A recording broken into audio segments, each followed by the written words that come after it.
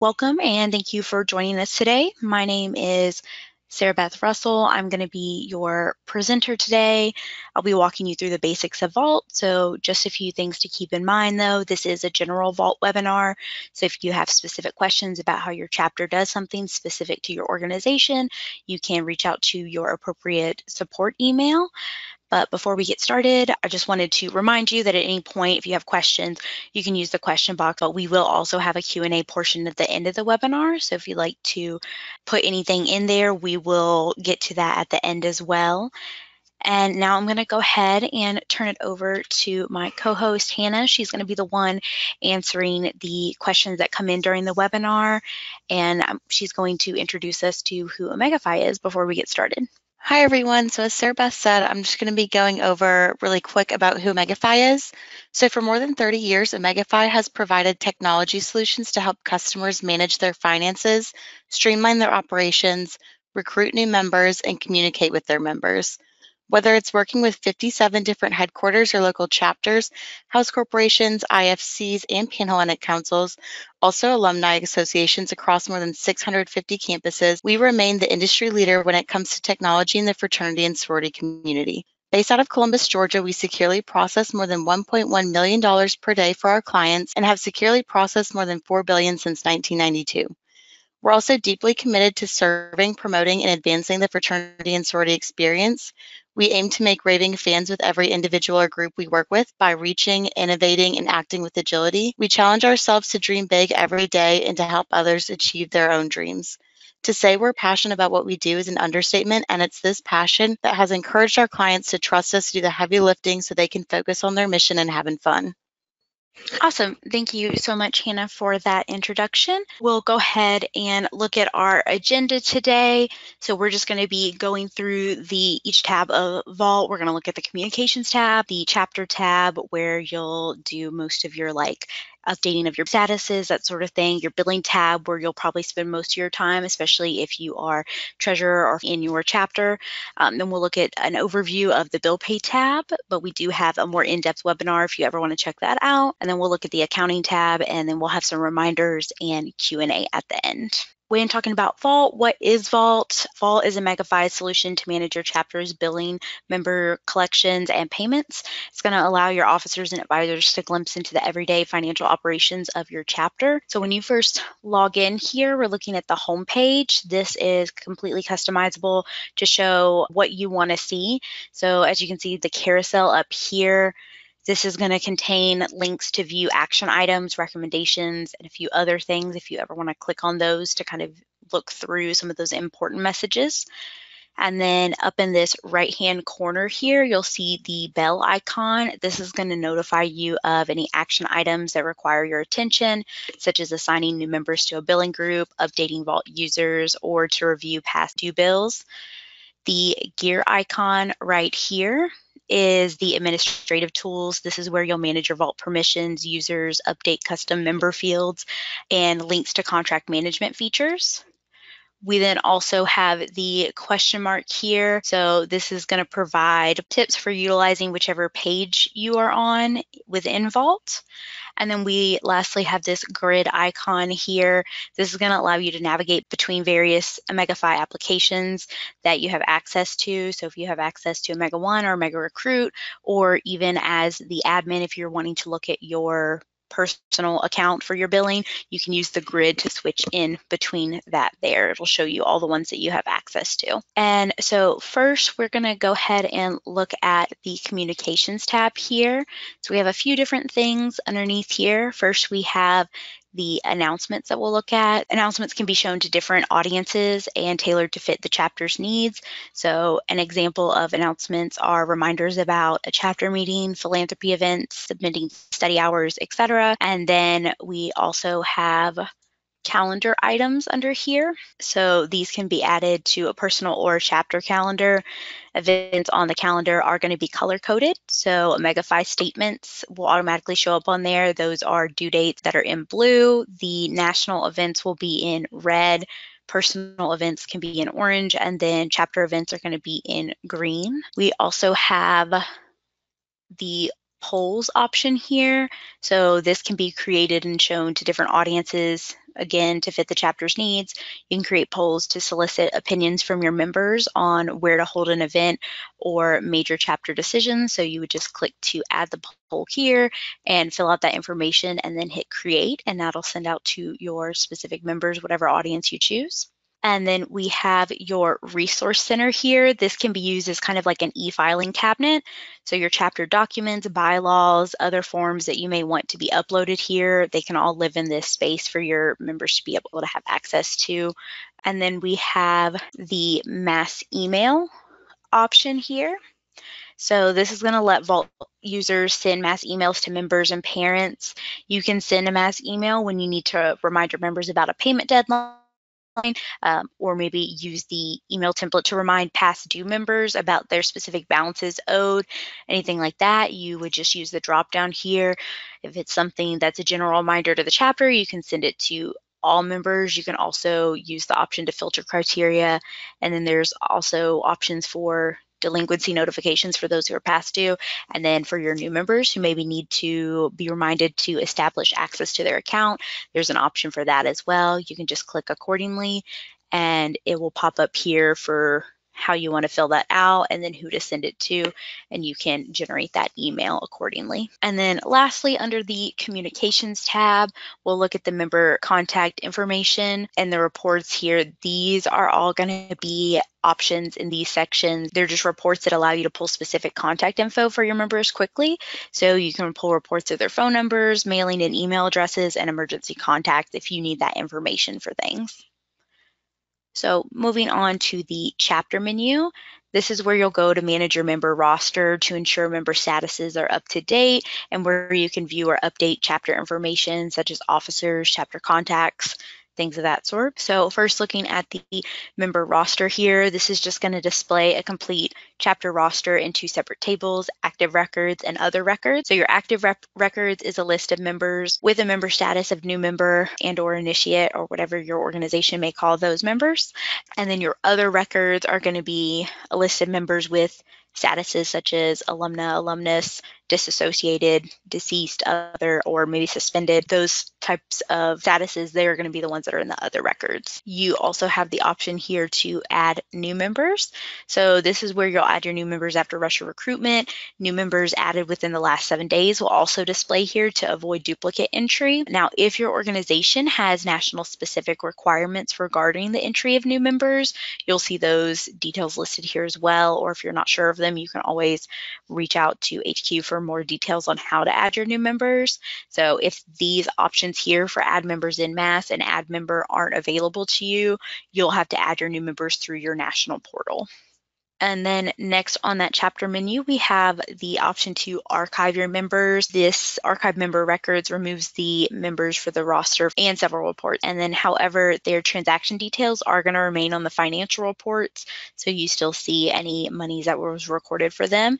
Uh, members with a status of alumni, disassociated, deceased, other or suspended, they are eligible to be archived if they have a zero dollar balance. So you need to make sure if you're wanting to archive a member, member that they also have a zero dollar balance on their account as well. And then here we have update member statuses. So this is where you'll update statuses from new member to initiate or to alumnus, whatever it may need to be. You can do that in mass. So you would just click on the members accordingly. These are by new members.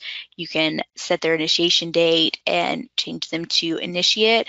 For some, depending on your national organization, you might not have this option. It may be based on submitting your initiation report, and once that's approved, they will automatically move. So if you're not seeing the ability to be able to do that, it'll kind of note that on this page, and you'll have to do that through other means.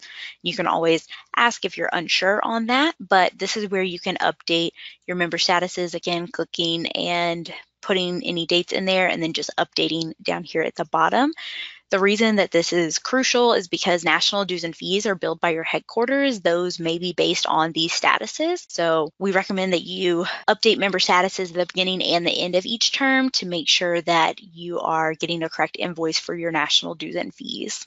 And like I just mentioned, that member initiation reporting You may, the guidelines vary by organization, but you may have that ability to do that within Vault. So if your organization requires you to submit new mem members through Vault, then national specific instructions will be viewable here for you to submit your national initiation reporting. Now looking at the chapter information section down here, we have a few different things for chapter detail. This is going to display contact, tax, and other information for the chapter. You can go in and edit that if need be, if anything needs to be updated or anything has changed. Then we have your officers here.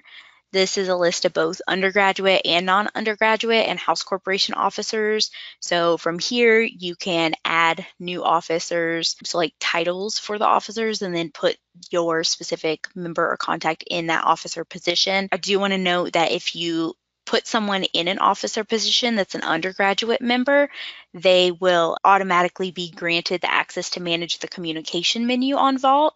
So this is the one that we talked about, allows officers to send mass emails and add chapter calendar items, polls, announcements, and other resource center documents. So you can edit that under the gear icon that we talked about earlier, but when you put them into an officer position, just know that they'll automatically have that permission granted. Now moving on to the house menu here, we have house details similar to chapter details anything that you need to know about the house, you can add a house, update that address. Any related information with that will be under here. That just maintains a record for the chapter house property or meeting space. So you have that. And then you also have the contract management information. This is going to provide a better way for your chapter or house corporation to manage contracts and agreements with your members and parents. A few examples of that may be lease agreements, risk management agreements, social media agreements, parking contracts, or maybe like promissory notes. So you can create that under the contract management. It'll give you some of the details and everything. You can go to add a contract and it will kind of walk you through that. And next we'll move on to the billing menu. This is where you'll probably spend most of your time if you are the treasurer of your chapter. So this is where you're going to go to ensure your members are receiving the correct charges each term, turn billing on or off for members, set up the scheduled charges for the next semester, add charges for t-shirts, events, fines, anything miscellaneous, that sort of thing. So looking first, we can look at the member list by billing group. This is just going to provide you a member list that can be sorted by your various different columns here. If you want to look at kind of a different breakdown of like what your billing groups are, you can look at the update billing groups here and filter that out. So if you want to see everybody who's in each individual billing group, you can select that and see everyone who's in the billing groups, update members to different billing groups accordingly. So just selecting the members, what billing group you need to move them into, and then hitting update billing group there. This just determines which schedule of charges will apply to their account on each billing cycle's bill on date. So what billing group you put them in is going to determine what charges they get. And then we, similar to member status, we have the update billing status here. This is going to determine though whether your members get charges or not. So the scheduled charges are going to auto assess to a member's account. If active displays on the member's billing status field, then the system will automatically charge that member's account based on their billing group assignment. If they're marked as inactive, then no new scheduled charges will assess.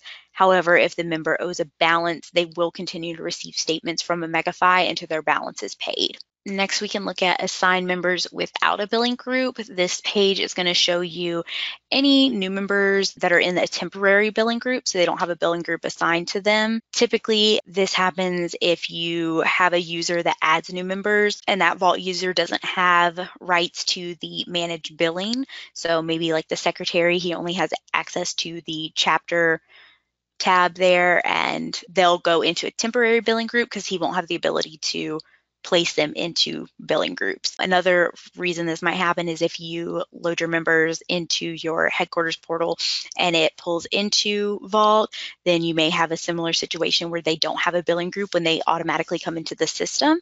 So you'll want to make sure when you're adding your new members, you're checking this regularly so that they are assigned a billing group so they'll get charges. If they're in a temporary billing group, they're not going to receive any scheduled charges. So you want to keep that up to date. Another really good thing to check pretty consistently is the roster and billing discrepancies. This is good to check before billing goes out. This is going to display any members whose billing status conflicts with their member status. So it'll allow you the time to update those statuses. For example, if a member is marked alum, for their member status, but their billing status is active. Typically, alum aren't going to get billed, so those kind of conflict with each other. The system's going to tell you, and then you can either update them if they don't need to be alum, or if they need to be marked inactive billing status, you can update them accordingly. And then looking under the statement details section here, we have a few different options. The billing overview here is going to display an overview of charges scheduled for a particular term. So winter, spring, summer, fall, whatever you guys have your system set up on. So according to the cycle, the billing type and the transaction description and account. So we can see here the dates up here and then each billing group laid out with their description type, income account, and then each cycles charges. And this is also another way you can check members in a billing group. If you want to look at those, you can click on this and see what members are in each billing group. And then we have our billing dates here. This is just going to provide a list of all the scheduled billing cycles. Each billing cycle has four different dates. So we have the bill on date here. This is going to be the date scheduled charges are assessing to the account. So they'll be pending on the member's account in accordance to what their billing status and billing group is. The statement on date is when the statements will process and are sent to the members. Then the due on date is going to be what appears on the statement. And the late after date here is going to be the date unpaid balances either age or late fee is assessed if your chapter has late fees set up in billing options. And you can view that under billing options if you have that set up. Then we can look at statement contact information here. This is going to be your chapter's primary contact for finances. It's going to appear on the member statement in addition to OmegaFi's customer service information. So you can update that accordingly. You also can change the statement message. It's customizable and it appears at the bottom of your member statement. But due to space limitations, there is a max character limit of 255. So keep that in mind when you're changing that message there. Then we also have delinquency status messages here. You can click on that. This is going to appear if a member's account is delinquent. So OmegaFi is required to provide written notification to members of their delinquency in accordance with member consumer protection laws. You can select the link to that we just clicked on here and it's going to show you how those show up accordingly. So each cycle that a member is past due will change their status. So the first cycle they're past due, they're past due delinquency, delinquency status, and then the next cycle severely past due and so on. Um, and then you also have under billing the late fee and prepayment options. This is going to provide the ch chapter preferences for late fees and prepayment discounts. Um, amounts and criteria for both options are set up by the chapter um, or headquarters if you have like a national late fee. Late fees can be processed to delinquent members' accounts based on either a flat rate or a percentage of the member's balance. Also, a late fee threshold can be set. So if a member's balance is lower than the threshold, then they don't get a late fee. So, you know, they have to have at least like a $50 balance to get a late fee or however you want to put the threshold at. Um, and then prepayment discounts can be set up by billing groups as well for flexibility. And then under the member payment section here, you have the option to enter payments up to 15 payments received locally. There's slots for 15 to record a payment. You would just drop down, select the member who paid, the payment method. So if you do check, you'll then put in the check number and then the particular amount on that as well. And then you'll click create payments to enter that payment. But do note that to eliminate liability for you guys as chapter officers and reduce trips to the bank, you can instruct your members to pay OmegaFi directly either through their online login or their My OmegaFi mobile app. They can also pay by mail or over the phone as well. And if they have their account number on their statement, they can pay just online without even logging in. So you can put payments in here, but again, liability for you guys. Definitely best to encourage your members to pay through Megafy. And then you can also look at any payments received through the system under your payments received report here. It's going to provide a summary of payments received within whatever specified date range you put in. The report's divided into two sections. The top section providing a list of member payments within that date range, and then the summary at the bottom has the total payments received locally and by OmegaFi as well. We also have the auto pay report here. This is just going to show a list of members who have established auto pay on their OmegaFi account if you need to look at that.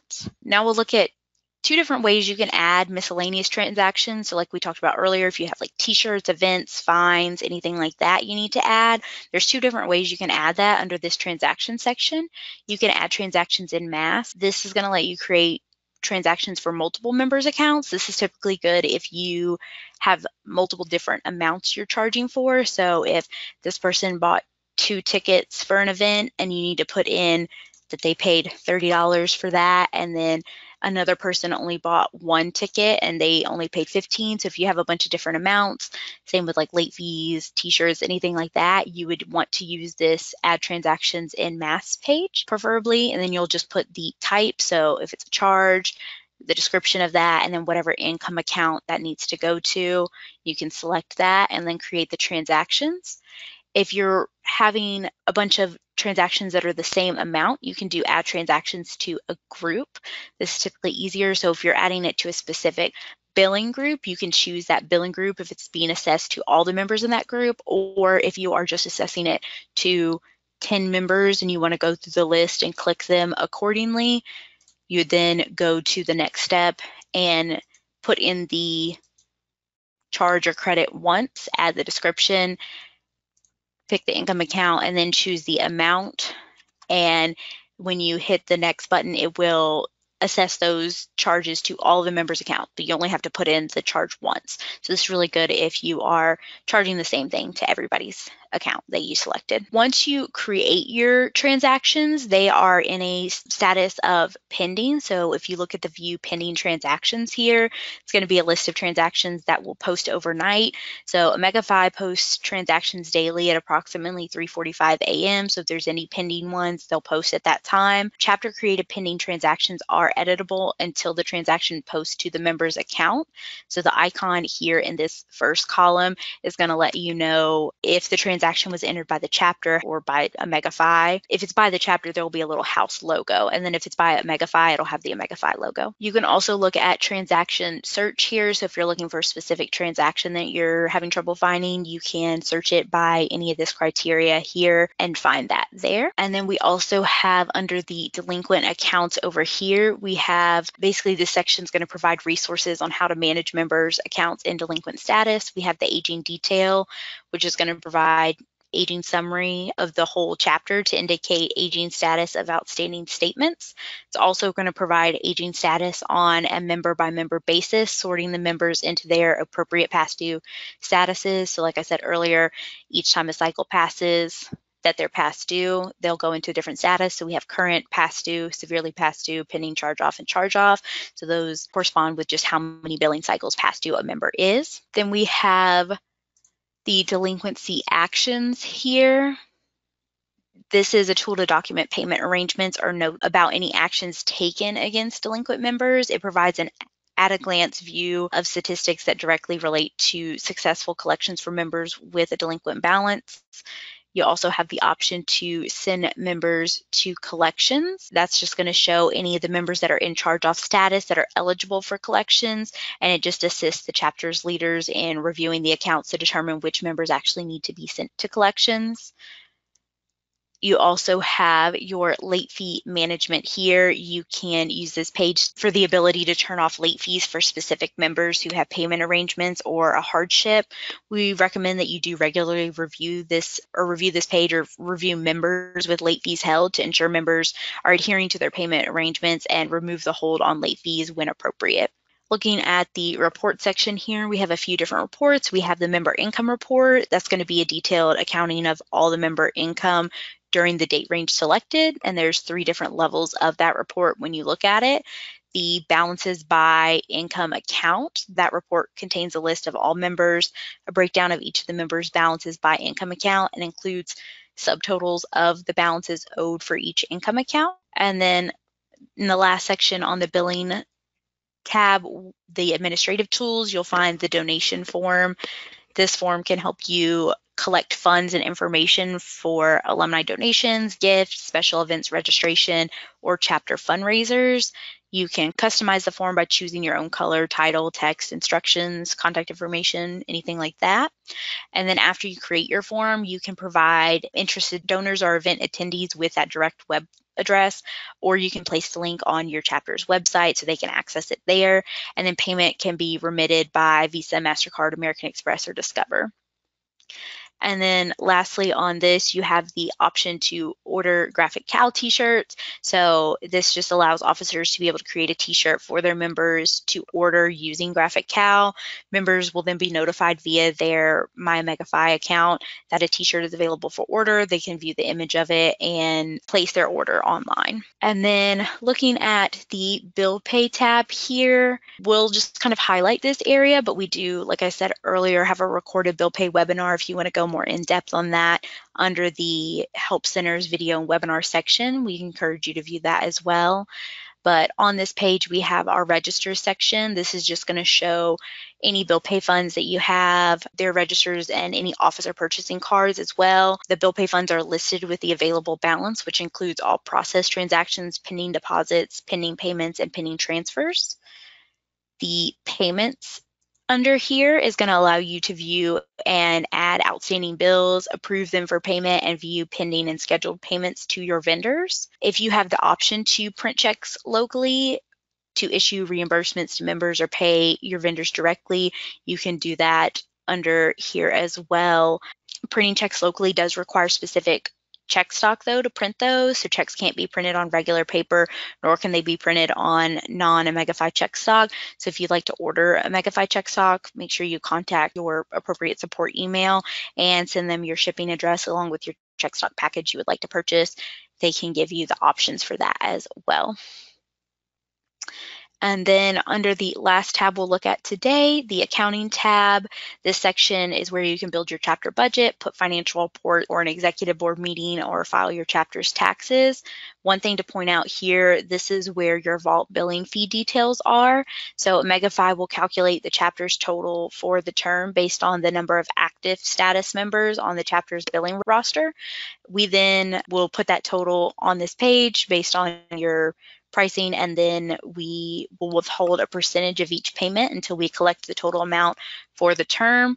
So for instance, if you owe a thousand for the term, then let's say 10% of each payment was withheld until you reach that thousand amount. And then whenever that's paid off, no more percentage would be held from any other payments coming in. That's kind of how that would look like. The vault billing fee details though just provides a breakdown of the fee, how much the total is, like I said, and then how much has been collected as well as the balance at any given point during the term. And then lastly, we do have our get help section here. This this is a general resource and has a bunch of videos and articles that you can access here to help you navigate and complete tasks within Vault. You can search specific words or phrases. Like I said, articles, there's a lot of them in there matching your search result. They'll populate to help you find any answers you might need. I do want to point out we have this section here for new officers. So if you want to click into that, or even for seasoned officers, if you just want to refresh on some things here, we have several checklists that you can look at for when you come into office.